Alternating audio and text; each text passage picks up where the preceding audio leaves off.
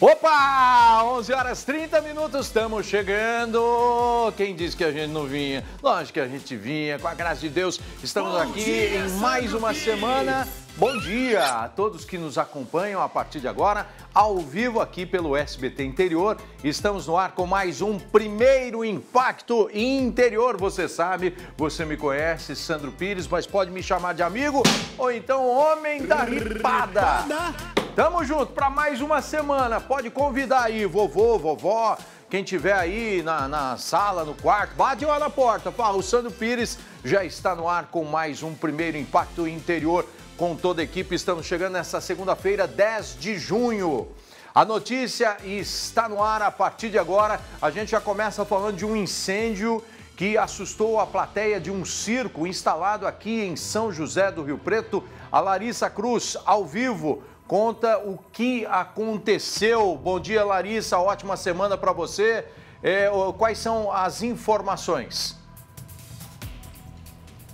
Oi, Sandro. Bom dia para você. Ótima semana para você também e, claro, para todo mundo que nos acompanha. Olha só, por sorte, ninguém se feriu. Felizmente, o pessoal conseguiu sair aqui do circo sem nenhuma gravidade. O que, que aconteceu? Segundo as informações aqui é, do pessoal que trabalha no circo, eles disseram que foi é, teve aí umas faíscas em uma das alegorias aqui do circo. E aí é, começou um princípio aí de incêndio. Mas para explicar tudo certinho, eu estou com a produtora aqui aqui do circo, a Karina. Ela vai explicar o que, que aconteceu, né, Karina? E também explicar pra gente que é, está tudo certo aqui em questão de segurança com o circo, né? Bom dia para você. Bom dia a todos. Infelizmente tivemos esse princípio de incêndio que não teve grandes fatalidades. Nossa equipe de brigadistas atuaram é, muito rápido, é, além de a, a, apagarem o, o, princípio de incêndio rapidamente, juntamente com, com os nossos bombeiros civis, também tiraram as pessoas de dentro do circo com calma, com cautela, é, priorizando a calmaria e que as pessoas não se sintam é, ameaçadas de alguma maneira e possa vir uma aglomeração. Graças a Deus o circo, o Circo Stankovic tem mais de 180 anos de existência. Nós temos todas as documentações exigidas pelos órgãos públicos, além do seguro contra terceiro. Não tivemos nenhum tipo de ferimentos, ninguém ferido, somente os danos materiais, que para a gente também não importa. O que importa, o que prioriza é as pessoas, é a vida humana. Além disso, a tenda aqui, toda essa estrutura do circo, ela é anti-chamas, é isso? Isso, a nossa lona, ela é anti-chamas, por isso que o fogo não propagou. Hora que começou o princípio de incêndio, ela compactou. Então ela só teve mais fumaças, né? Eu tenho até os laudos, tá? Nos órgãos públicos, esses laudos anti-chamas.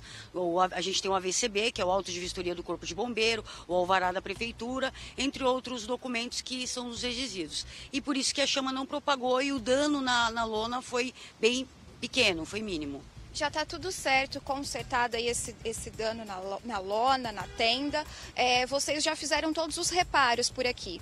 Tudo certo, inclusive hoje haverá espetáculo às 20h30, amanhã às 20h30, quinta às 20h30, sábado e domingo às 15h30, 18 e 20h30. Tá certo, então, Karina, muito obrigada, viu, pela sua participação e também por esclarecer aqui, né, para o pessoal de casa entender o que aconteceu. A gente sabe aí que circulou algumas é, imagens nas redes sociais, então fica aí a informação correta, certinha. E, infelizmente, teve, como a Karina disse, o prejuízo foi aí quase 200 mil mil reais aí de prejuízo, mas também, é, tirando isso, já está tudo certo por aqui, viu, Sandro? Olha, que bom, né? A gente torce para que o circo aí se restabeleça, né? Porque são vários artistas, várias famílias envolvidas aí nesse circo. Já, já assisti um espetáculo deles quando eles estiveram em Olímpia, inclusive com, com esse boneco aí que acabou pegando fogo aí por conta dessas é, faíscas, dessas fagulhas aí durante uma apresentação. Acidentes acontecem, né? O que é, o melhor aí é que o, a estrutura, né, foi mantida e o circo estava dentro da, das regras, né? Com a, os brigadistas, com o alvarado, o corpo de bombeiros, estava tudo em ordem e agora é seguir a vida, né? Mas, infelizmente, isso daí pode acontecer, né? É, a gente torce para que não aconteça mais, mas né, tem que estar apto aí a, a corrigir. Muito obrigado, Larissa, pelas suas informações. Um abraço para o pessoal do, do circo aí, pessoas muito queridas, né? Uma família tradicional no mundo do circo. E olha, uma grande área de vegetação foi destruída ontem em Martinópolis, na região de Presidente Prudente. As chamas atingiram um espaço total equivalente a 11 campos de futebol no assentamento Chico Castro Alves. Segundo os bombeiros, o incêndio começou após um produtor rural atear fogo em uma pilha de lixo dentro da propriedade dele. As chamas se alastraram e atingiram também uma área de preservação permanente de aproximadamente um campo de futebol. O incêndio chegou a uma propriedade vizinha e destruiu uma caixa d'água de 10 mil litros, além de parte do encanamento do imóvel. Foram mais de quatro horas para controlar as chamas e a gente sempre está falando aqui, cuidado mesmo com a, a prática de, de queimada monitorada, tem que tomar muito cuidado, porque muito vento, vegetação seca, isso daí pode se alastrar e olha só os danos causados aí, é um alerta de todas as autoridades. E olha, em Ilha Solteira, a explosão de um transformador provocou um incêndio na usina hidrelétrica de Ilha Solteira. A fumaça pôde ser vista de longe. Um vídeo do incêndio viralizou nas redes sociais. Você está vendo ali ó, as imagens impressionantes, né? Segundo a empresa responsável pela usina, a explosão ocorreu em um transformador de corrente de 440 kV, que pertence à companhia que faz a transmissão da energia gerada pela usina para a rede elétrica. Ninguém ficou ferido, né? Foi mais aí o visual, né? Que as pessoas ficaram preocupadas, chamou bastante atenção, todo mundo querendo saber o que realmente estava ocorrendo, mas sem feridos agora é ver o que realmente aconteceu para tentar corrigir aí o, o sistema e não acontecer mais. Mas é aquilo, né? Com maquinário assim pode acontecer realmente. E olha, vamos falar agora de um caso que vai ser apurado pelo Ministério Público. Pais de alunos de uma escola estadual de Votuporanga vão entregar hoje ao Ministério Público um abaixo assinado. Por que, Sandro Pires? É que as crianças encontraram larvas no arroz da merenda. A Joyce Cremonese chega agora ao vivo aqui no primeiro Impacto Interior, tem todos os detalhes desse caso. Bom dia, Joyce. Bom dia, Sandro. Bom dia para todo mundo que está acompanhando a gente. Nós estamos bem em frente à Escola Zenir Coelho Zeitune, aqui em Votuporanga, onde tudo isso aconteceu, uma escola estadual. Os alunos chegam aqui por volta das sete da manhã e saem só às quatro da tarde. E houveram aí muitos relatos, então, de que durante ali alguns dias na semana passada, especificamente também na sexta-feira, os alunos encontraram então larvas na merenda. Eles estavam ali no momento do almoço almoço e muitos alunos com o celular conseguiram registrar então a presença dessas larvas né, no meio do arroz, feijão e além disso, né, é, os pais também reclamam que já há alguns dias alguns alunos vêm passando ali mal, às vezes tem um pouco de dor de barriga, é, vômitos, e eles não conseguem identificar o que estava acontecendo. E com esse relato, então, dos alunos de que eles teriam encontrado essas larvas aí é, na refeição, então eles começaram a achar que isso poderia ter alguma relação. Nós, inclusive, conversamos com algumas mães né, que vieram até aqui à escola hoje e relataram para a gente toda essa situação. Vamos ver. Ele já chegou doente já várias vezes e eu levo no, no postinho, levei no médico, aí fala que é virose, mas deu diarreia, deu vômito. E quando saiu nas redes a respeito do, dos bigatos na, nas comidas, foi tirado fotos e foi várias fotos que veio na, nas redes, foi que eu comecei a descobrir o porquê que ele estava ficando doente, né? É uma comida que não é bem preparada, sabe? Muito oleosa, então precisa ter um reparo assim mais na com mais carinho, mais respeito, né? Eu achei um absurdo. Eles estavam tendo muita diarreia, ânsia de vômito, é, tiveram muita dor de cabeça, enjoo. E eu, não, eu levei no pediatra e ele vem acompanhando desde pequeno, né? E ele achou, achou assim, eu não sei o que está acontecendo, mãe, porque seus meninos estão tá com isso, que a gente faz exame, dá remédio e, e volta. E o motivo da gente voltar ao médico era isso. Esse,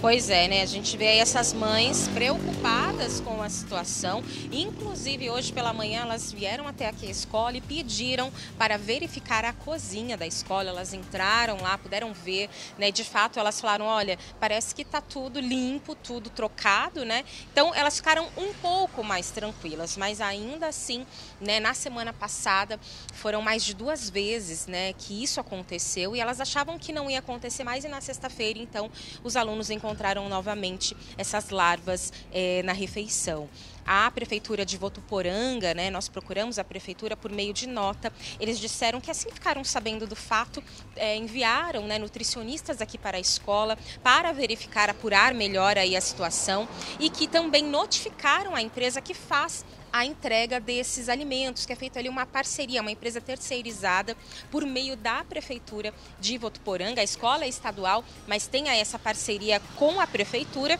e essa empresa foi notificada e o estoque todo que estava inclusive na validade foi trocado.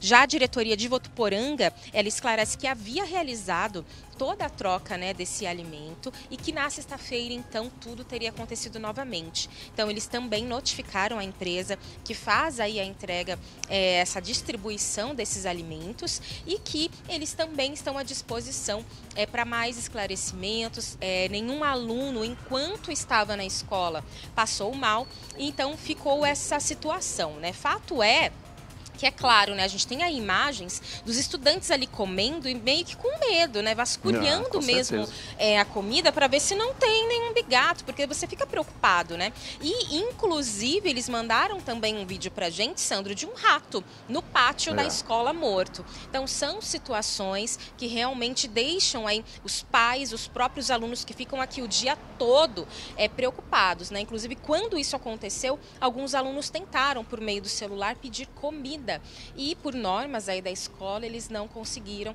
tiveram que ficar mesmo o dia todo sem comer. Olha, isso daí é muito sério, muito grave. Eu tenho é, que, certeza que o município vai tomar uma posição, além de mandar aí os nutricionistas, mandar o pessoal da, da limpeza, da é, é de, desratização, é isso que fala? O pessoal lá para vistoriar, para saber se está tendo rato, se tem ninho lá, o que está acontecendo, se o problema é no, no produto que já veio vencido ou né, venceu, mas com, com larvas, que isso daí pode acontecer, né? Com, com comida, com alimento, não se brinca, é muito sério realmente, né? E as crianças estão lá, imagina só, você saber que o seu filho, de repente, tem que ficar, ó, catando lá o, o arroz bom, pelo amor de Deus, né, gente? Isso daí não pode acontecer. Tem que avaliar se é o produto que já veio desse jeito, se é o armazenamento ou se é o manuseio errado. Isso daí tem que ser corrigido, botar uma frente lá, pessoas capacitadas para avaliar e corrigir se tiver o problema. Não é normal e não pode ser normal. Né? É, com alimento não se brinca porque pode dar algo sério aí na, nas crianças e os pais aí, as mães têm toda a razão de reclamar. A gente vai ficar acompanhando essa situação aí, ô, ô Joyce. Qualquer nova informação você traz aqui pra gente, tá bom? A gente fica aguardando aí um, uma, uma solução para esse caso. Muito obrigado, Joyce. Ó, você que está em casa, vamos lá com o nosso WhatsApp. O telefone já está liberado para você. Mande a sua foto, mensagem, denúncia, reclamação, vídeo 1798127 8656, tá bom? A gente vai para o intervalo comercial, agora 11 horas 44 minutos. Daqui a pouquinho a gente vai falar sobre o, os bombeiros que foram para o Rio Grande do Sul. Saíram esse final de semana sete bombeiros de Rio Preto que integram uma missão no Rio Grande do Sul. Ao todo, 23 homens e mulheres da corporação de todos os estados de São Paulo foram lá para o Sul. Daqui a pouquinho a gente fala sobre isso. Até já.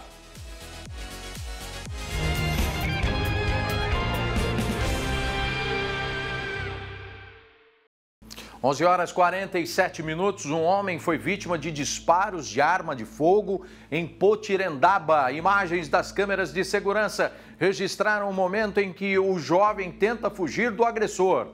Uma terceira pessoa tenta evitar o confronto, mas o suspeito acaba atirando. A vítima foi socorrida com um tiro nas costas e encaminhada para o hospital municipal. De lá, foi transferida para o hospital de base aqui em São José do Rio Preto.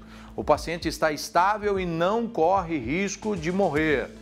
O autor dos disparos foi identificado, mas está foragido. Polícia à procura dele para saber o porquê desta tentativa de homicídio. A gente continua acompanhando esse caso. Qualquer novidade a gente traz para vocês, tá bom? A gente dá sequência porque você sabe aqui é na agilidade da notícia, uma notícia atrás da outra. Vem junto comigo. Após uma recomendação do Ministério Público, a Prefeitura de Presidente Prudente decidiu devolver os mais de 2 milhões de reais retirados dos fundos municipais dos idosos e das crianças e adolescentes. Esse dinheiro faz parte das doações feitas pelos contribuintes do imposto de renda e precisa ser destinado exclusivamente para projetos sociais. O Lucas Piccolo, ao vivo, tem todos os detalhes para a gente. Quando, a pergunta é, né? Quando esse valor deve ou foi devolvido? Lucas, bom dia para você.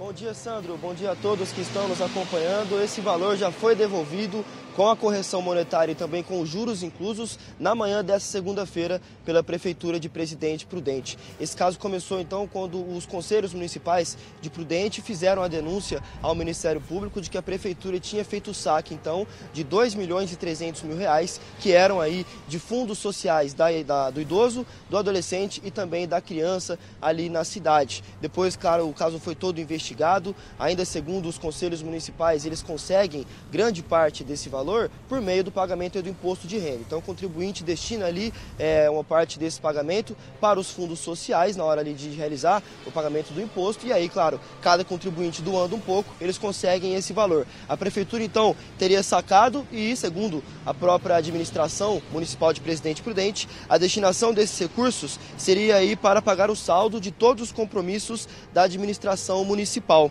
Eles teriam feito isso com base em uma lei federal que tornaria essa ação da prefeitura prefeitura, então, uma ação legal. Mas aí, claro, toda a, a, denúncia foi feita, o caso foi investigado também. O documento ainda dizia que caso o valor não fosse devolvido pela prefeitura, uma ação civil poderia ser aí realizada. E na última quarta-feira, então, dia 5 de junho, o Ministério Público fez essa recomendação para que a prefeitura devolvesse esse valor atualizado para os fundos sociais. Esse valor foi repassado, então, de volta aí para, para esses fundos sociais na manhã dessa segunda-feira. Sandro. É, só confirmando aí, eu estou recebendo a informação aqui que o dinheiro foi devolvido já na sexta-feira. Né? Informação aí passada pela nossa produção. Muito obrigado, Lucas, pelas suas informações. E olha, já estão no Rio Grande do Sul sete bombeiros de Rio Preto que integram uma missão né, para ajudar as pessoas vítimas das enchentes lá na, no estado. É, ao todo foram 23 homens da corporação de todo o estado de São Paulo. E a Larissa Cruz tem as informações para a gente sobre esse trabalho que é voluntário, né? Eles não são obrigados.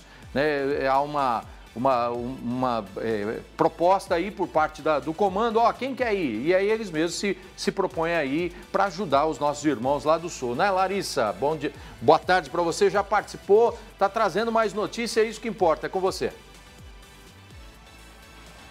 Exatamente, Sandro. Então, boa tarde, né? Boa Já tarde. que estou voltando Isso. agora um pouquinho mais tarde. E olha só, eles embarcaram ontem é, da sede do 13º Grupamento de Bombeiros aqui de São José do Rio Preto, rumo ao município de Lajeado. Como você disse, eles vão integrar aí uma equipe da Força Tarefa do Corpo de Bombeiros que já vem realizando esse trabalho no Sul desde os primeiros dias aí dessa tragédia. E serão 23 pessoas, né? 23 dois homens integrando essa equipe e também um cão farejador. Eles vão render uma equipe que já está trabalhando lá há um tempinho. E olha só, Sandro, o trabalho deles, né, a missão deles por lá é dar assistência a essas vítimas e também a animais. Além disso, é, mapear ali locais de risco, também é, tirar pessoas né, de locais que estejam em risco. Então, o trabalho deles realmente é de dar assistência e todo o suporte, atendimento também para essas pessoas que estão passando aí por essa tragédia. Lembrando que desde o começo aí, né, desde o primeiro dia dessa, dessas enchentes, 35 dias aí, né, quase 40 dias, é, 600 pessoas ficaram desabrigadas e também ontem teve um, é, a Defesa Civil liberou aí um boletim que conta, né, que mostra para a gente que subiu também o número de mortes, já são é, 173 pessoas aí que perderam suas vidas nessa, nessa tragédia sem precedentes e em agiado, ó, 315 pessoas permanecem em quatro abrigos. Então, realmente, essas pessoas ainda precisam é, do apoio, tanto do Corpo de Bombeiros, também de toda a comunidade, Sandro. E essa ajuda ainda vai ter que ser né, por um bom e longo tempo, né, não só do, do, Corpo de Bombeiros, semana passada a gente mostrou, policiais militares que também estavam se juntando e outros voluntários. Obrigado, Larissa. Agora um recadinho para você que está aí juntinho comigo. Olha, no Arraiá de Ofertas Rondon, seu carrinho sai cheio de economia e qualidade. Ofertas arrasadoras e produtos selecionados. Confira agora mesmo o que os supermercados Rondon prepararam para você e sua família. Vários setores com preços arrasadores. Venha aproveitar. O Arraiado Rondon está tudo de bom. Super ofertas imbatíveis para você encher o carrinho. Arroz Meu Biju, 27,98. Leite em pó Tirol, 400 gramas, 11,49. Bebida láctea Chocolíder no Clube Tudo de Bom, 3,99. Costela bovina do traseiro, 14,98. Salsicha Perdigão, 9,98. Calabresa sadia ou Perdigão, 22,98. Pão francês, 6,98. Não fique de fora dessa festança de descontos. Vem aproveitar o Arraiado de Ofertas Rondon. Gostou das ofertas? Então corra e aproveita essas ofertas incríveis do Arraiá Rondon. A gente volta no próximo bloco com mais notícias para vocês que estão acompanhando a gente. Vamos falar sobre o troféu Ayrton Senna de kart 2024 que agitou uma cidade aqui da nossa região. Até já.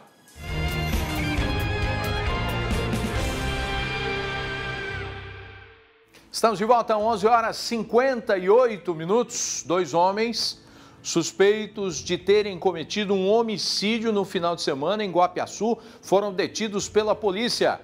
O crime foi na madrugada de domingo. O autor dos disparos foi preso em flagrante pela PM de Minas Gerais por volta das 10 e meia da noite. Com essa prisão foi identificado o coautor do homicídio, dono da arma utilizada para cometer o crime.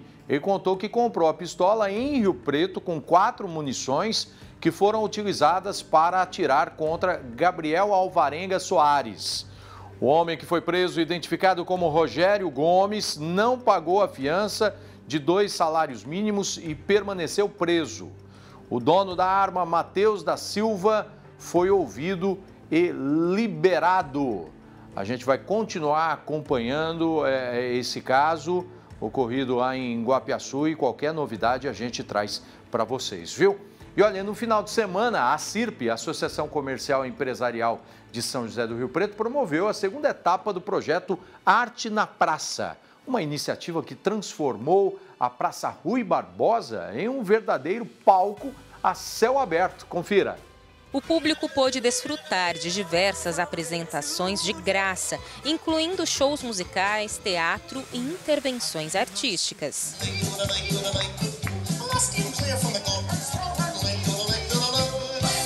quer ressignificar a praça né, como um espaço público de acesso à arte, né, de uma forma bem democrática, mas também tem esse objetivo de atrair a população para vir para o centro, visitar o centro e consumir no nosso comércio local. Além das apresentações no palco, os participantes também tiveram a oportunidade de realizar um passeio pelo patrimônio histórico da região central, a bordo de um trenzinho guiado. Bom dia, turma! Bom dia, bom dia! Bom dia! E esse guia vai orientando as pessoas para que elas conheçam um pouco mais sobre cada prédio, a sua história, né, como, como foi construído ou não, qual é o estilo. E aí a população também consegue entender um pouco mais e criar um pertencimento sobre esse patrimônio. Para completar a experiência, a Vila Criativa foi um sucesso, reunindo artesãos e empreendedores que exibiram e venderam peças exclusivas e itens personalizados, além de delícias gastronômicas. Queria saber o que você acha né, de chegar aqui na praça, encontrar né, uma apresentação assim para as crianças. É legal, bem interessante.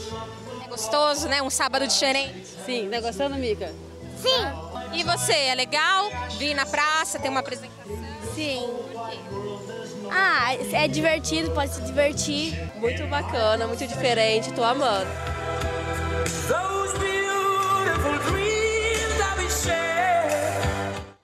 Muito bacana, parabéns pessoal que organizou e o pessoal que foi conferir.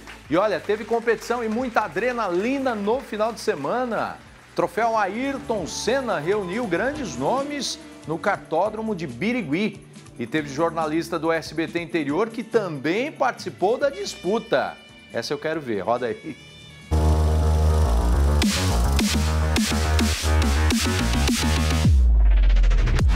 Foram mais de 180 pilotos de todo o país divididos em 19 categorias. O Renato tem 12 anos e já é profissional na categoria dele. O jovem piloto de Itu é experiente. Já correu campeonatos paulista, brasileiro, F4 Júnior e agora o troféu Ayrton Senna em Mirigui, que é referência também na modalidade. É uma competição muito disputada, é, tem, bastante tem bastante pilotos na minha categoria, principalmente, porque é, esse ano é uma categoria que não está com muitos pilotos por causa da mudança de idade, mas mesmo assim está bem disputado porque apesar de poucos pilotos, são bons pilotos. Este é o único campeonato do mundo que tem o nome do tricampeão mundial de Fórmula 1, Ayrton Senna, que morreu em 1994. Mas aqui também, além de fazer homenagem ao piloto, aconteceu de forma simultânea o circuito paulista de kart, que dá vaga também para os pilotos para o Campeonato Brasileiro que vai ser realizado em outubro. Por isso, esse fim de semana foi bem emocionante por aqui. O Bruno é tricampeão do troféu Ayrton Senna. Corre de kart há mais de 20 anos. Já tem mais de 30 títulos na carreira e está empenhado para o brasileiro de kart. Foi um dos grandes preparatórios para nós, para o brasileiro em outubro, né? Foi uma etapa muito importante porque todo o pessoal mais forte do kartismo nacional veio competir. Então é meio que aquele a nossa base, né? O termômetro que a gente chama, né? Para saber como é que a gente está, se a gente está bem, se a gente, a gente não está. E graças a Deus a gente está super bem. O fim do torneio teve pódio e volta dos campeões. Foram dois dias com muita adrenalina e velocidade. Nessa edição tem uma situação bastante é, peculiar, porque na verdade esse final de semana estamos tendo, dentro do troféu Ayrton Senna, a premiação para o Circuito Paulista, que é o nosso campeonato aqui da região. Também estamos tendo a Copa Regional da FIA. Então o troféu Ayrton Senna ele englobou três campeonatos. Mas não pense que esta reportagem acabou. Agora vai começar uma outra competição. Essa é bem diferente. É a corrida da imprensa, por isso eu já estou aqui a caráter, porque agora a gente vai ver também a emoção de andar de kart aqui em Birigui. Bora lá! E entre os jornalistas competidores, o meu colega do SBT, Flávio Zani, que é fã de automobilismo e já venceu várias corridas de kart. Ele sempre ganha pódio, sempre está em primeiro. E hoje, assim, eu pedi para ele, pelo menos, se der uma volta, dá só uma, não dá duas voltas não, por favor. Não, fica tranquilo. A última vez que teve o troféu Ayrton Senna aqui na corrida da imprensa, eu ganhei. Tenho o troféu lá na minha casa mas isso não quer dizer que eu vou ganhar hoje. Antes da corrida, os pilotos participam do briefing para receber todas as orientações da prova. Depois de tudo pronto, partiu corrida. Os primeiros cinco minutos são para definir a posição da largada. Entre os 19 pilotos, eu fiquei bem. Deixa para lá. Vamos para a prova.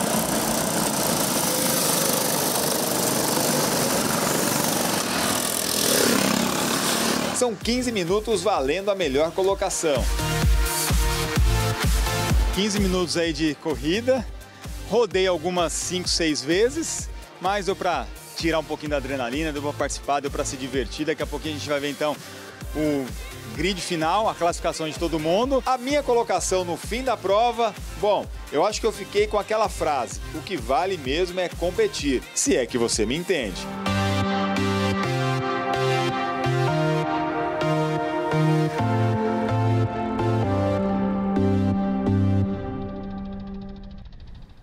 Ah, bacana. E o Zane, ô Carla? E o Zane? é, fiquei sabendo que o Zane é fera. Um abraço para vocês, todo mundo que participou. É isso mesmo, Rodolfo. O que importa é participar, né? Mas, ó, vou marcar um dia para eu ir aí disputar com vocês. Vamos lá, já andei, é uma sensação incrível. O Zane ficou em quarto. Já tá bom, é só fera lá. Parabéns a todos, viu? Agora um recado para você. Hoje é o seu último dia para aproveitar as condições especiais da Unicesumar e ganhar desconto na graduação. Aponte seu celular para o QR Code que está aqui na tela e garanta sua vaga. Até hoje, 10 de junho, a Unicesumar está com a primeira mensalidade a partir de R$ 9,90 e até 60% de desconto nas demais em cursos selecionados como radiologia, podologia, design de interiores e muito mais. Já pensou? Estudar em uma universidade que é nota máxima no MEC, pagando muito menos? Oportunidades como essa não dá para perder, hein? Conquiste o seu diploma e prepare-se para construir sua carreira na Unicesumar, que é referência no mercado de trabalho. Aponte o celular para o QR Code que está aqui na tela e fale com o consultor da Unicesumar e garanta sua vaga na graduação com condições especiais. Unicesumar, a maior rede de ensino à distância do Brasil. E olha, ainda hoje, hein, meio-dia, sete minutos, daqui a pouquinho nós vamos falar do evento que movimentou também Birigui. A gente já viu aí prova de kart, mas ontem foi o campanheiro que levou várias atrações para a cidade e uniu ainda mais os tutores e seus pets. Daqui a pouquinho a gente vai falar sobre esse evento realizado pelo SBT Interior. Até já!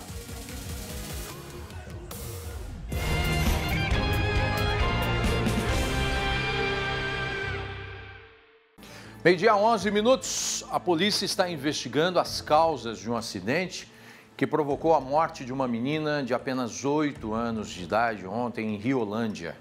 O carro em que ela estava bateu em uma árvore na rodovia SP-322. De acordo com o boletim de ocorrência, Isabela Vitória Alves Saraiva foi socorrida e levada para a Santa Casa, mas não resistiu. No carro estavam a mãe, e outras duas crianças de 12 e 4 anos que foram socorridas e também encaminhadas para a Santa Casa. Um menino de 4 anos foi transferido para Votuporanga com suspeita de traumatismo craniano. A mãe das crianças também foi levada para a Santa Casa de Riolândia. O estado de saúde dela não foi divulgado. Ela fez o teste do bafômetro que comprovou que ela não estava embriagada. A escola onde a menina estudava decretou luto e suspendeu as aulas hoje. Os nossos sentimentos aos familiares, né? a polícia vai apurar aí né, o que aconteceu e a gente fica torcendo pela recuperação das pessoas que estão feridas. E olha, uma jaguatirica foi encontrada morta em uma estrada em Gabriel Melhado, em Bilac. Um, na estrada Gabriel Melhado, em Bilac, né? Um motorista que passava pelo local encontrou o animal caído e chamou a polícia ambiental. A jaguatirica era um macho adulto, é, de aproximadamente 20 quilos e tinha sinais de atropelamento. O corpo foi recolhido e levado para o hospital veterinário da Unesp, onde fica à disposição ou a Associação Mata Ciliar para Estudos Clínicos. Né? É, é, o segundo caso, né? Em menos de uma semana aí, a gente mostrou semana passada um outro caso de também um animal, só que fêmea naquele caso, né? bem semelhante a esse. Né? E a gente pede aí atenção dos motoristas, cuidado. Né? Até os animais estão cruzando as estradas aí. Se acontecer um acidente, comunique às autoridades para tentar salvar o bicho. A sétima edição do Campanheiro em Birigui foi um sucesso. O evento promovido pelo SBT Interior contou com diversas atrações para os cãezinhos e também para os gatos e os seus tutores. Veja só. O evento começou cedo na Praça Doutor Gama, em Birigui. Os tutores e seus pets estavam todos animados para curtir o Domingão com diversas atrações na sétima edição do Campanheiro. Todos vieram com seus amigos de quatro patas para celebrar essa amizade entre humanos e seus doguinhos. Nós temos só esse cachorrinho e eu tô achando o evento maravilhoso, porque a gente pode trazer eles para se divertir um pouquinho. Foram na escola do meu sobrinho e aí falaram para ele que ia ter, aí ele me chamou e falou: "Tia, leva o cachorrinho". Aí eu vim com ele e com a minha, minha filha. Eles estão ali pegando ração hoje. Achei muito legal. O evento é uma parceria entre a prefeitura de Birigui e o SBT Interior. É a sétima edição. A cidade está recebendo o campanheiro pela terceira vez. Hoje o Brasil é o segundo maior consumidor pet do mundo, então você vê que esse mercado cresce demais e você vê que toda família, cada um tem um cachorro, um gato. Vale ressaltar também que nós tivemos adoção de animais também, que é uma coisa que a gente trabalha bacana. Então é um evento maravilhoso, a gente só tem que agradecer ao SBT, a toda a equipe. Não foi por acaso que a gente escolheu o Birigui para retomar esses eventos. Campanheiro é o primeiro de uma série de eventos que a gente vai voltar a fazer. Estamos muito contentes, os patrocinadores, estamos muito felizes do povo ter abraçado o evento com a gente. As adoções responsáveis foram incentivadas no evento.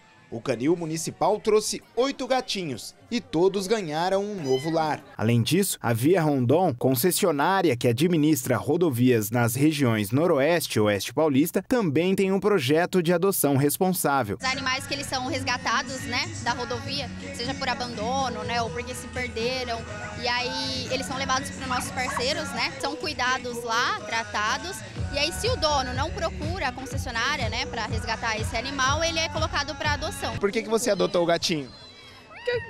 que eu queria um gatinho para me fazer companhia, que eu tenho vontade de ter um bichinho para não ficar sozinha. Nem ia pegar, na verdade, porque minha mãe não gosta, mas tô levando meio que escondida, ela vai gostar.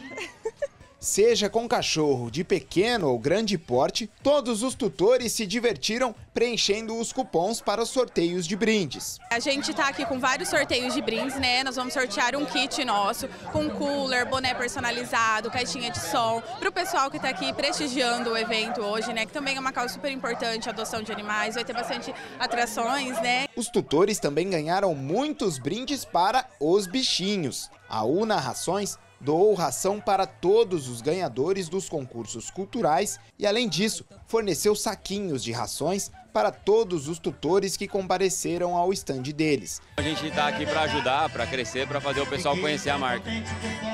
Você tem uma ideia mais ou menos de quanto de ração que vocês trouxeram para distribuir no evento hoje? Aproximadamente umas 15 mil amostras. A Cobase também foi mais uma marca a apoiar o evento. Eles estavam apresentando um pouco mais sobre o funcionamento da loja e distribuindo cupons de desconto para o pessoal. Nós estamos abordando mãe de pet, pai de pet, né? Oferecendo um cupom apresentativo da loja com todos os setores ali com 10% de desconto. Muita gente também aproveitou o campanheiro para se vacinar. As equipes da Secretaria de Saúde de Birigui estavam aplicando vacinas contra a dengue, gripe, covid e poliomielite tinham ainda teste rápido contra o HIV e de glicemia. É muito importante cuidar da vida dos tutores, né, das pessoas que cuidam dos animais. Eles também precisam ter saúde mental para passar muito carinho e amor para os animais. Os cães foram as grandes estrelas da festa, é claro. Eles desfilaram e participaram de diversos concursos culturais, como por exemplo, melhor fantasia, maior e menor cão, cachorro mais parecido com o dono e animal mais exótico.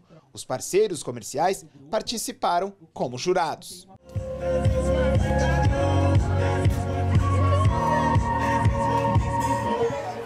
As crianças também se divertiram com muita pipoca e algodão doce.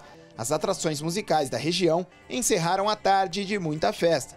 Entre latidos e miados, todo mundo aproveitou. É preciso paz para poder sorrir, é precisa chuva para florir. Ah, que bacana, que festa gostosa, né? E por falar em festa, os 64 anos de Suzanápolis, cidade aqui da nossa região, foram comemorados com o tradicional rodeio. Milhares de pessoas de toda a região marcaram presença no evento e é claro que nós fomos conferir de perto. Todo aniversariante precisa de uma festa bem animada. e de muita gente para comemorar. Aniversário da cidade, né? Curtir o rodeio aqui.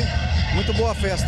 Veio prestigiar o evento e admirar aí a festa de Suzanápolis aí. Maravilhoso, festa top, tá mó bacana. E no aniversário de Suzanápolis não faltaram atrações. Teve comida boa e muita diversão para a criançada, com brinquedos infláveis e cama elástica. Foram quatro dias de evento, que começou no dia 6 e foi até 9 de junho. Segundo a Prefeitura de Suzanápolis, cerca de 3 mil pessoas passaram pelo recinto de festas Antônio Lopes Baroles. E claro, se muita gente veio curtir a festa pelas barracas e brinquedos, tem também aqueles que são apaixonados apaixonados por um bom rodeio e não vão ficar de fora.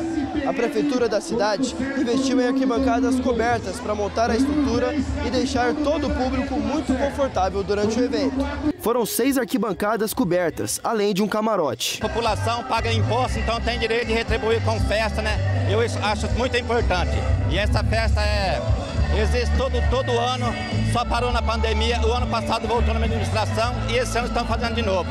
Foi em cada franca todos os dias. O público ainda acompanhou o rodeio. Foram 15 montarias na arena com a animação de Adalto Severo, um dos principais locutores de rodeio da região. É final, é é show de rodeio, seu preso! Eventos como esse vão muito além de uma simples comemoração, já que o rodeio é uma modalidade tradicional no interior paulista. O rodeio aqui é uma tradição antiga e a gente considera uma tradição importante que traz alegria, traz. É, é, o povo daqui e da região gosta desse evento.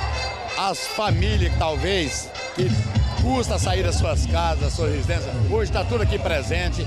Isso aí é, traz benefício é, para o comércio, traz é, é, para a cidade, e a gente acha muito importante nesse aspecto, a gente fica muito feliz quando a coisa dá certo. Além do desenvolvimento social e também econômico do nosso município, é uma tradição que acontece todos os anos na nossa cidade, né? Faz parte do DNA, da cultura raiz da nossa cidade, ter a festa do peão e outros eventos também atrativos no mês de junho, que esse mês a gente celebra 64 anos do município. E para comandar essa festa, nada mais justo que um grande artista da música brasileira. Felipe Araújo marcou presença no palco principal do evento após o rodeio e comemorou os 64 anos de Suzanápolis junto da população. Fui muito bem recebido, eu estou muito feliz de fazer parte dessa festa. Aniversário da cidade, com certeza é uma data muito especial, né? Com certeza, assim, a energia da, da galera também é diferente. E hoje não tá, não tá diferente, né? A galera compareceu, tá lotado, todo mundo com muita energia, com muita animação. Eu tenho certeza absoluta que vai ser um grande show. Eu espero poder suprir todas as expectativas da galera.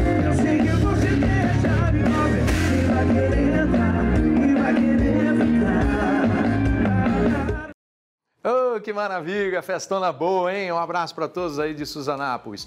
Agora meio-dia, 21 minutos. Vamos com mensagens você sabe, né? Segunda-feira é um pouquinho mais curto, aqui o primeiro impacto interior.